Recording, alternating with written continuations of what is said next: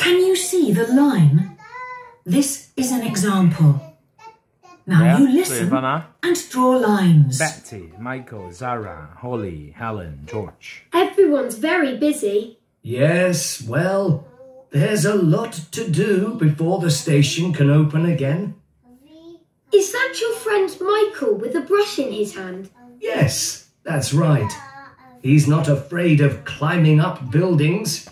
No, he isn't. Climbing up and brushes. Michael, so that's my What's that woman doing with that big bag? The woman who's standing on the platform? standing on the platform. No, she's got lots bag. of papers in her lots hands. of paper. Oh, yes.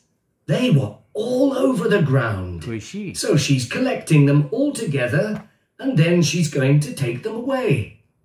Is her name Helen? Yes, that's Helen. right. She goes to Helen. Good. Was the station roof broken? Yes.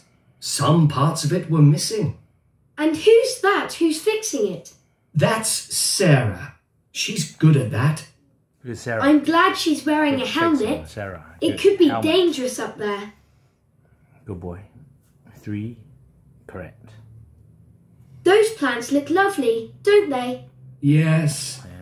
And Betty bought those Back. and she's looking after them. looking after. Does she have to watering. water them a lot? Yes. Good. So Every day when it's hot weather. Wow. That is Betsy. And who's that with the light? The light. That woman the who's light. reading something. Good. No, the man who's standing on the seat. That's George. George. Who is This George? Good station's boy. going to be brilliant, George. Grandpa.